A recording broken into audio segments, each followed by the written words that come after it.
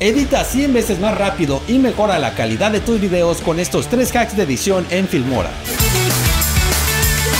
Número 1. Atajos de velocidad de reproducción. En ocasiones queremos encontrar un fragmento específico de un clip y lograrlo puede tomarnos bastante tiempo. Por fortuna, existen los atajos de velocidad de reproducción, los cuales están disponibles a partir de la versión 13.2.1 de Filmora. Con ellos podrás visualizar más rápido el video si presionas la tecla L y será posible multiplicar la rapidez de visualización cada que pulses de nuevo la tecla. Si quieres detenerte en algún punto solo presiona K y si quieres reproducir en reversa para volver a un punto, pulsa la tecla J que de igual manera tiene la opción de ir a diferentes velocidades.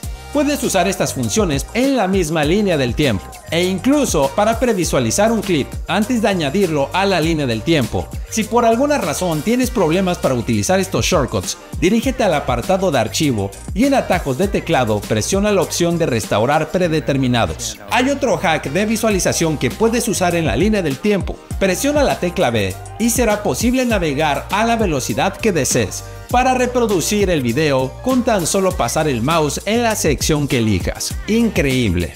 Número 2. Herramientas de dibujo. ¿Quieres crear elementos personalizados como flechas o marcos para tus materiales visuales? Es posible si haces clic sobre el icono de herramientas de dibujo. Selecciona la figura que quieras crear y haz clic sostenido en el reproductor para generarla al tamaño que necesites. Cuando esté lista, podrás modificar algunos aspectos si mueves estos cuadros amarillos. Y si haces doble clic sobre el clip de la figura, podrás cambiar el color de relleno, añadir borde e incluso sombra paralela. Puedes añadir efectos a la forma que creaste, solo deberás convertirla en un clip compuesto con Alt más G y listo. La siguiente herramienta te volará la cabeza, al igual que los tutoriales que están por venir en el canal. Suscríbete para no perderte ninguno. Número 3. Corrección de color precisa de tonos de piel. Esta nueva herramienta te guiará para hacer una edición de color de piel perfecta. Puedes encontrarla si picas el icono de histograma. Pulsa esta flecha y selecciona la vista de un elemento. Ahora haz clic aquí, elige Vectorscopio y presiona el botón de panel flotante.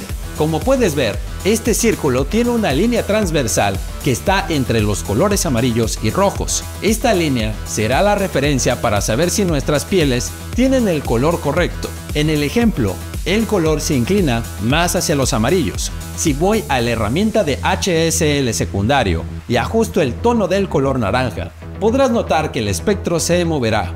Si me paso, se inclinará más hacia los rojos, así es que llegaré a un punto intermedio. Para hacer más evidente lo útil que es esta función, agregaré un LUT de Cyberpunk.